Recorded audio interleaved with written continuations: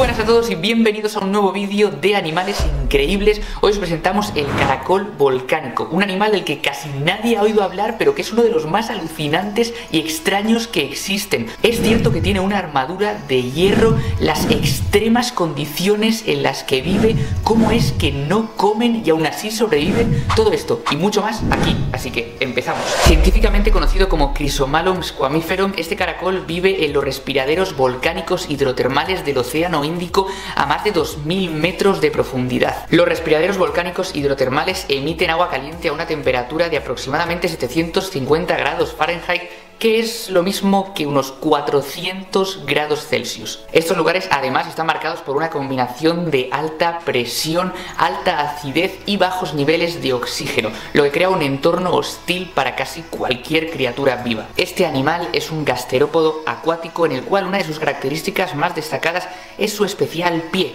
pie no como los humanos, sino la parte de abajo básicamente de todos los caracoles por la cual se desplazan, que es conocida como pie, pero en vez de ser un pie de caracol normal, este tiene unas placas de quitina, que es un material duro del cual están hechos, por ejemplo, los exoesqueletos de los insectos y gracias a esto pueden defenderse de ataques de cangrejos y otros depredadores que les ataquen por esta parte de abajo normalmente blanda. Pero hablemos ahora de la concha protectora de este animal porque tiene tela. Esta está compuesta por tres capas no unidas entre sí. La capa externa de nada más y nada menos que sulfuro de hierro, o sea, sí, literalmente tienen una concha hecha de hierro como si fuera una armadura de caballeros antiguos. Luego está la segunda capa, que es un material más blando que hace de amortiguador, que les sirve para cuando un depredador les ataca disipar la energía de este golpe y así evitar las posibles fracturas de la concha. Y luego una tercera capa más interna de carbonato cálcico, también dura. Estos caracoles tienen un color obscuro obsidiana en su caparazón y en las placas de quitina que nombramos anteriormente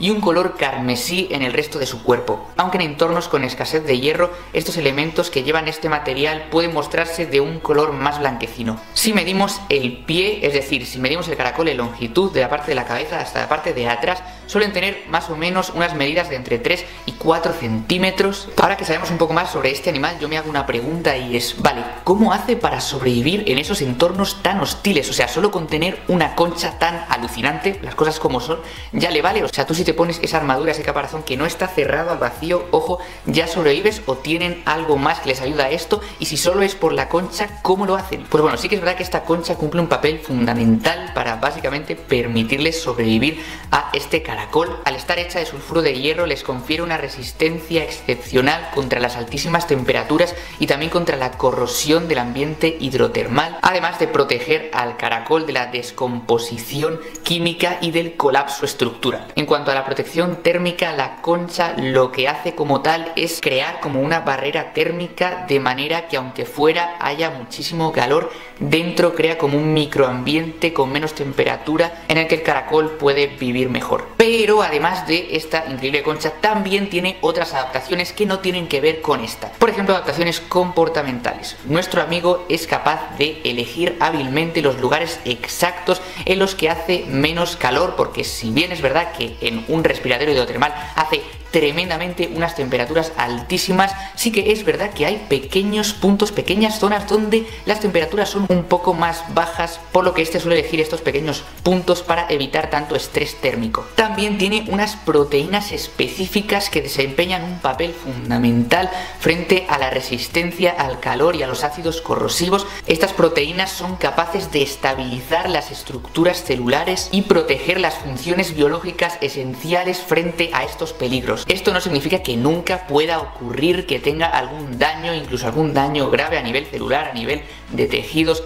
o a nivel externo, por lo que sí, este caracol también tiene mecanismos de reparación, mecanismos específicos a nivel genético y celular que le permiten reparar los daños que se vaya haciendo. Por cierto, si te está gustando el vídeo, recuerda que puedes darle ahí a suscribirte, que es gratis y a mí me ayuda un montón. Suscríbete. Vamos ahora con una de las características más extrañas de este caracol, y es que el caracol volcánico no come, o sea, nunca come. Lo cual, ojo, no significa que no se alimente, ya que tiene una relación simbiótica especial con bacterias tiotróficas que le ayudan a obtener este sustento. Este proceso se conoce como quimiosíntesis, en el cual las bacterias ubicadas en el esófago aprovechan el azufre del entorno circundante como donante de electrones para realizar la fotosíntesis. Las bacterias al realizar esta fotosíntesis producen una serie de compuestos como azúcares que el caracol utiliza como fuente de alimento. La simbiosis entre el caracol volcánico y las bacterias tiotróficas es beneficiosa para ambas partes. El caracol ofrece un hábitat seguro para estas bacterias, su esófago, y las bacterias proporcionan alimento al animal. Además, relacionado con esto, este caracol ha desarrollado una serie de modificaciones a lo largo de los tiempos evolutivos a nivel alimenticio y digestivo. Por ejemplo, al contrario que la mayoría de los caracoles que tienen una rádula en la boca que es una especie de cuchilla en espiral,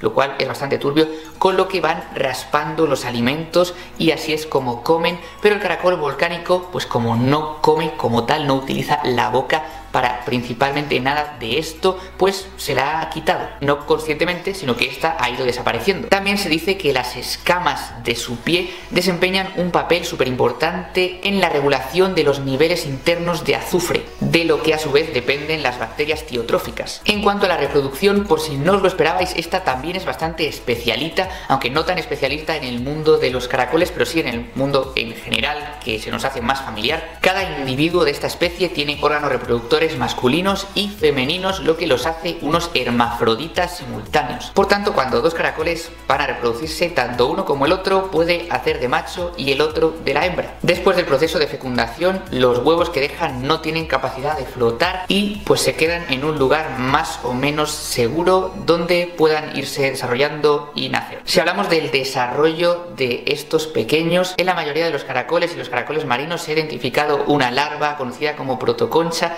pero pero en esta especie en concreto no se ha visto todavía y es que es una especie de la que se sabe muy poco por las difíciles condiciones que tiene de vida y obviamente por tanto difícil de documentar. Sí que se ha visto que este caracol en su fase juvenil es diferente al caracol en estado adulto, midiendo más o menos tan solo de 1 a 2 centímetros y teniendo una menor cantidad de escamas en el pie. Algunos investigadores han hecho una comparación del corazón del caracol volcánico con el corazón de un dragón, básicamente porque es gigantesco en relación con su cuerpo. Si bien el corazón humano representa el 1,3% de nuestro volumen corporal, el corazón de estos animales representa el 4% de todo su cuerpo, el cual es caracterizado también por unas paredes musculares muy gruesas, lo cual tiene sentido entendiendo el hábitat terriblemente extremo en el que vive. Y hasta aquí el vídeo de hoy, espero que os haya gustado, si es así podéis demostrarlo dejándos ahí un buen like, suscribiéndose, activando la campanita, que son cosas que no cuestan nada y a mí me ayudan un montón a seguir creando contenido de calidad y cada vez mejor